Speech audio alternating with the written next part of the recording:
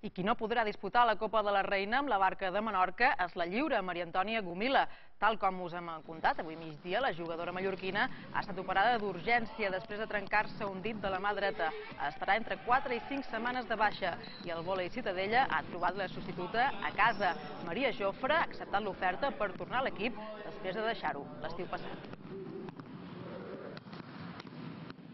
Físicament, la veritat és que me sent molt bé, crec que millor que, que l'any passat, i les ganes hi són. El volei és la meva passió, per tant, feliç.